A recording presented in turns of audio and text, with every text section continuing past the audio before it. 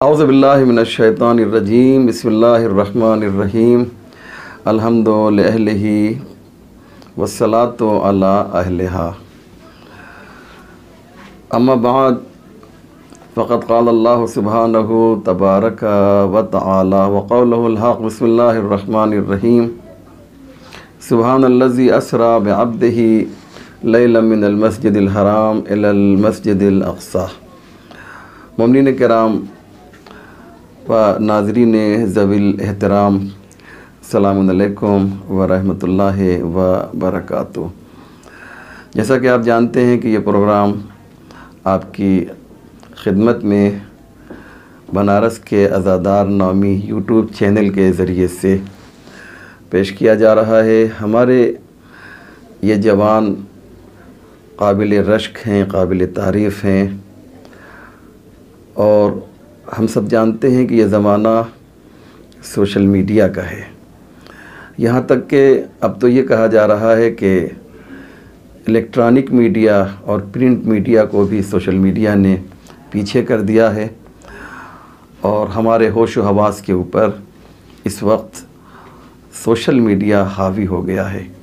लिहाजा ज़रूरी है कि हमारे जवान मारफ़ महमद आल महमद को दुनिया में आम करने के लिए सोशल मीडिया पर ज़्यादा एक्टिव हों, क्योंकि हमारा दुश्मन जो है, जो कसम खुर्दा दुश्मन है, वो सोशल मीडिया के ज़रिए से दीन मुबीन इस्लाम को कमज़ोर करने की नाकाम और मनहूस कोशिश कर रहा है। इसलिए बहुत ज़्यादा ऐसे लोगों के लिए हमारे दिल से दुआ निकलती है कि जो सोशल मीडिया, बिलखसूस यूट्यूब चैनल के ज़रिए से मोहम्मद व आल मोहम्मद के इरशादात फ़रामीन को पेश करते हैं। हम ऐसे जवानों को सैल्यूट करते हैं, सलाम करते हैं। गुफ्तु हमारी जो है वो बहुत ही इम्पोर्टेंट और बहुत ही अहम है और ये मौजू तो बहुत तफसील तलब है, लेकिन मैं मुख्तसर करके पेश करना चाहता हूँ और वो है मौजू योम क़ुद्स का। आज से तकरीबन चालीस चालीस बयालीस साल पहले, खुमैन की सरजमीन से एक मर्द आहन, एक एक अजीम इंसान, एक इलाही शख्सियत रूहुल्ला सैयद रूहुल्ला अलमूसवी अलखुमैनी नाम की उठी। और जिसने खुमैन की सरज़मीन से एक ऐलान किया और एक अज़म मुसम्म एक मुकम्मल इरादे के साथ उसने आवाज़ बुलंद की और नतीजा ये हुआ कि बड़े बड़े मज़बूत, ताकतवर हाकिम भी इस आवाज़ को सुनकर लरजने लगे।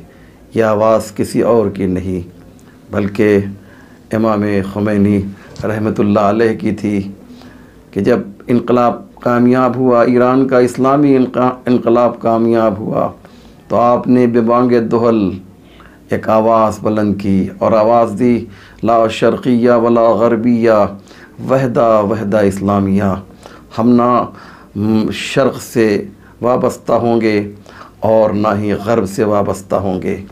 वहदा वहदा इस्लामिया, हम ना मगरब के ब्लॉक से वाबस्ता होंगे और ना ही मशरक़ के ब्लॉक से वाबस्ता होंगे। वहदा वहदा इस्लामिया, बल्कि हमारा तो ब्लॉक एक ही है और उसका नाम है अल्लाह। हम उससे वाबस्ता होंगे। पर इमाम खुमैनी ने फरमाया कि हर कस बा खुदा नमी तर से, ब हामी तर से। जो शख्स खुदा से, जो शख्स खुदा से डरता है, हर कस बा खुदा मी तर से। जो शख्स खुदा से डरता है, वो किसी और से नहीं डरता। और उसके बाद आपने एक ऐलान किया अजीमुशान ऐलान आपने इनकलाब इस्लामी की कामयाबी के बाद। और ये इनकलाब इस्लामी की कामयाबी के बाद जो ऐलान था, वो ऐसा ऐलान था कि इसके ज़रिए तमाम मुसलमान अगर चाहें तो मुतहद हो सकते हैं, एक प्लेटफार्म पर आ सकते हैं। और वो क्या है? वो इस इसराइल गासिब के ख़िलाफ़ आवाज़ एहतजाज बुलंद करना। जानते हैं हम हम सब जानते हैं कि दीन इस्लाम का कानून ये है कि कभी भी ालिम के ख़िलाफ़ खामोश न रहो। ख़ुद पैगंबर ने फरमाया खालिद्दीन इल्लुब दीन मोहब्बत के अलावा कुछ नहीं है।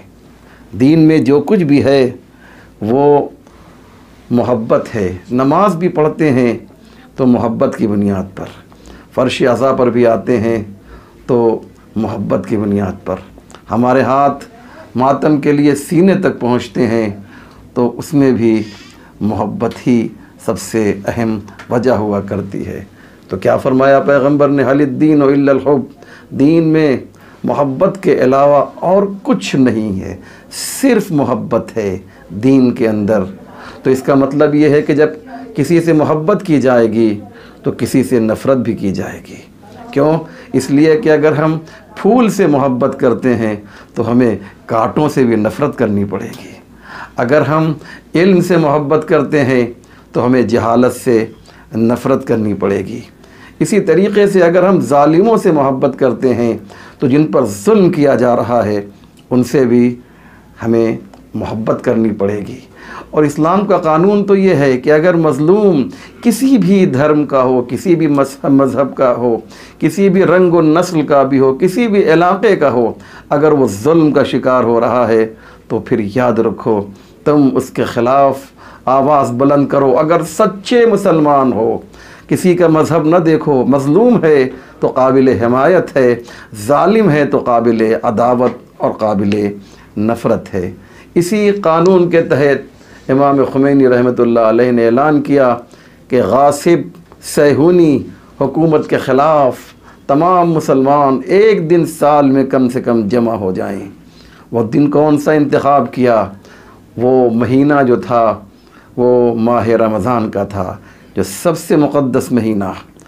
तमाम बारह महीनों में अगर सबसे मुक़दस कोई महीना है तो उसे माह रमज़ान कहा जाता है। और सुनेंगे। और माह रमज़ान में अगर सबसे मुक़दस कोई दिन है तो उसे जुमतुल विदा कहा जाता है। खुमैनी अज़ीम ने, इस अज़ीम अल्लाह के बंदे ने इस दिन का इंतखब किया, जो सबसे मुक़दस दिन था, और कहा, इस मुक़दस दिन में हमारी जो मुक़दस मस्जिद है, जिसे मस्जिद अक्सा कहा जाता है, उसकी उसकी कामी आज़ादी के लिए सब मिलजुल कर दुआ भी करो और एहतजाज भी करो। दुआ का ताल्लुक़ अल्लाह से है, एहतजाज का ताल्लुक़ इन ालिम हुक्मरानों से है।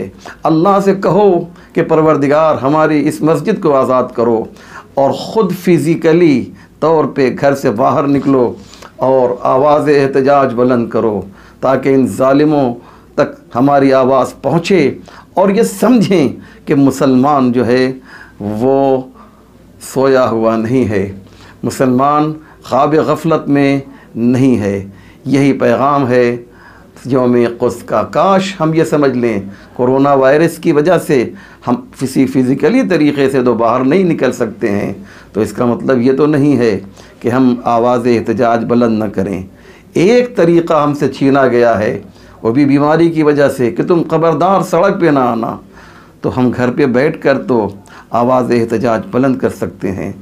ये जो वीडियो बनाया जा रहा है, इस वीडियो को और इससे मिलते जुलते तमाम वीडियोस को इतना शेयर कीजिए, इतना फॉरवर्ड कीजिए, इतना दोनों तक पहुँच पहुँचाइए कि ये ालिम हुकूमतें जो हैं वो समझ लें कि मुसलमान अगरचे फ़िज़िकली तरीके से सड़क पर नहीं आ सकते तो सोशल मीडिया के ज़रिए से अपनी दुश्मनी का और अपनी नफ़रत का इजहार इस ालिम हुकूमत के साथ कर रहे हैं। यही हमारा पैगाम है। असलकम वालेकुम वरहमतुल्लाहि व बरकातुहू